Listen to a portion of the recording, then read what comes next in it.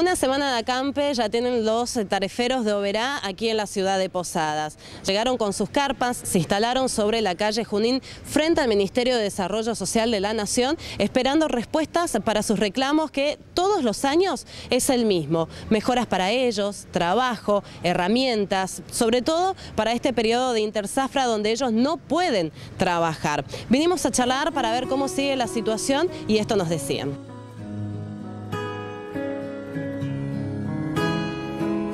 Eh, esto continúa de la misma manera desde el domingo, hasta ahora sin ninguna novedad, sin que venga Zacarías a atendernos alguien del ministerio y nosotros seguimos firme acá por una acampe por tiempo indeterminado. Comentanos por favor de dónde son. Eh, nosotros somos de Oberá, eh, hay gente de otras localidades también, como Campoviera y algunos de 2 de mayo. ¿Cuándo llegaron acá a Posadas? El domingo a las 10 de la noche. Y desde ese día están aquí. Eh, sí, sí, justamente. Acamparon y ya no se fueron. No, no, no, desde el día domingo estamos acampando acá y nuestro reclamo es a la nación, por eso mismo no cortamos las calles ni nada, porque el problema no es con provincia, sino que con nación. Eh, ¿Ustedes pudieron entregar un petitorio o algo? No, no, no, hasta ahora no se pudo entregar nada porque no se presentó nadie al ministerio. ¿Hay muchas familias acá de Tareferos? Eh, hay 90 familias y 30 chicos. Eh, ¿Y cómo hacen con ellos? Que seguramente son los que sufren más, ¿no? Esta situación. Sí, tal cual. lo que más están sufriendo son los chicos pequeños, hay chicos recién nacidos, hay mujeres embarazadas. Son los, que más, los más afectados porque no, no tenemos comida, no hay nada y tampoco nos se acerca nadie a ver qué está pasando, ni el defensor del pueblo de Posada, ni el intendente de Posada, porque yo creo que el defensor del pueblo está para eso y el intendente, está bien que no somos de acá, pero el intendente de Posada tendría tendría que acercarse a ver qué está pasando. ¿Han recibido quejas ustedes por parte de los vecinos por el tema de la circulación aquí en la zona? Sí, sí, tal cual como siempre. Ahí la gente son como bien dicho te digo, son hipócritas, en pocas palabras, voy a ser bien de frente, porque la gente critica, pero la gente tampoco se anima a arrimarse, a preguntar qué estamos haciendo, no, lo único que saben hacer es criticar.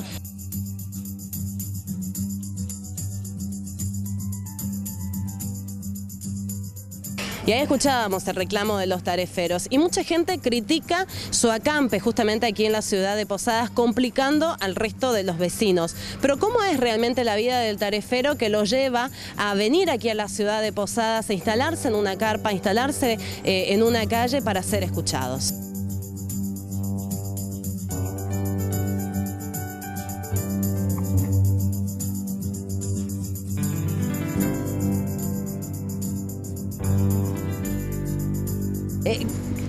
Vida realmente del tarefero que los lleva a estar acá hoy reclamando lo que están pidiendo? La vida del tarefero hoy por hoy y lo que nos lleva acá es que nos quedamos sin trabajo, nos lleva el hambre que día a día están pasando la familia tarefera, que después de cuatro meses se quedan sin trabajo, ocho meses, eso es lo que nos lleva a venir a cortar las avenidas y todo lo que dicen la gente que critican, pero realmente la gente no sabe. Yo creo que primero la gente se tendría o irse a un yerbal, la gente que realmente toma mate y tereré, y bueno, ahí que venga a decirme si cortamos la calle porque nos gusta, o sea política, o sea organizaciones, o lo que quieran, ahí recién que critiquen. La vida del tarefero es levantarte a las 4 de la mañana, y a las 5 de la mañana pasa el camión por tu casa, sin, tenés que levantarte horario para no perder el camión y ahí te devuelven a las 9 de la noche a tu casa. Primero, en un camión, no, es que hay colectivos que los llevan a ustedes a la tarefa? No, no, es mentira que haya colectivo. Colectivo hay, sí, pero si el patrón paga, porque desde el gobierno, como por ley el gobierno puso colectivo, es una mentira. Hoy por hoy no tenemos colectivo. los tareferos que viajan en colectivo porque los patrones pagan. Bueno, decías, a las 5 los pasan a buscar y ahí cómo es después. A las 5 de la mañana nos pasan a buscar y ahí tenés dos o tres horas de viaje hasta llegar al Yerbal y ahí ponele a las 9 de la noche te regresan a tu casa porque entre que a las 5 de la tarde empieces a cargar y todo hasta que lleve la hierba al secadero, vuelvan a buscarte ya es de noche, a las 9 de la noche volvés a tu casa. ¿Y, por cuánto por cuánto hacen todo este trabajo? No por cuánto tiempo, sino por cuánta plata, ¿cuánto les pagan a ustedes por esto? El mil kilos de hierba está, el que mucho está pagando es 1.400, pero son muy pocos los que están pagando y no hay tarefero que haga, haga mil kilos por día. Por ¿Cuánto logran hacer más o menos? Un 300, 400 kilos, sacate un balance, te da un 500 pesos por lo mucho. Y ahí con esa plata tenés que desayunar, almorzar y cenar por 300 pesos o 400 pesos por día. ¿Cómo hacen después con el gasto de las casas, los chicos en las escuelas? Eh, hay que economizar el ponerle si va el marido de la familia al trabajo, ya lleva la comida que cena por la noche, el resto de la comida lleva el yerbal.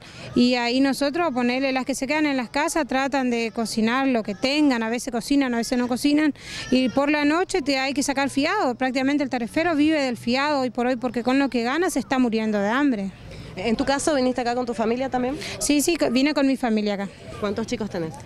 Eh, tres. Tres. ¿Y viniste con? Dos acá, dos y mi marido. ¿Y, ellos también ya desde muy chiquito empiezan con la vida de la tarefa? Sí, sí, tal cual, porque cuando yo estaba embarazada ya me iba a tarefear, así mismo me fui a tarefear, vine y le ¿Con tu bebé en la panza con mi bebé, en la tarefa? Con mi bebé en la panza estuve tarefeando, tarefié, yo creo que los que me conocen saben que es la verdad y pueden llamar a los patrones que quieran, si quieren les doy nombre, no hay problema y hasta el día de hoy seguimos tarefiando.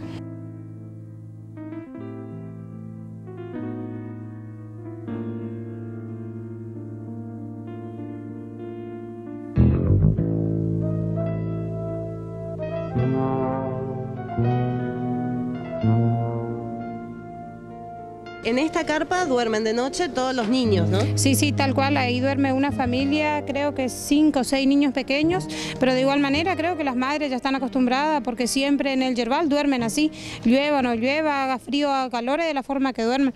Y eso ningún político, ningún gobierno nunca vio. Eh, son carpas improvisadas, digo, un, pedazo de toldo, vemos algunos palets ahí abajo. Sí, sí, tal cual, están durmiendo sobre madera, las madres y los chicos, y, de, y arriba de cartón, es lo que juntaron del basurero, cartón. E, ¿Esas frazadas ya las tenían, las trajeron, les donaron? ¿Cómo fue? No, no, no, esas frazadas algunas trajeron, algunos se acercaron y les donaron, sí. Vemos chiquitos, muy chiquitos, acá recién un bebé de siete meses, por ejemplo. Sí, sí, tal cual, hay un anito que creo que el de siete meses, ¿no? Él estaba enfermo, se le tuvo que llevar al hospital, porque incluso se le pidió a la policía que estaba haciendo guardia acá que llame la ambulancia y dijo que ellos no estaban para eso. Y se le dijo que llame, que si le podían llevar en el auto a la policía y dijo que no, que eso, el coche ellos no es para eso.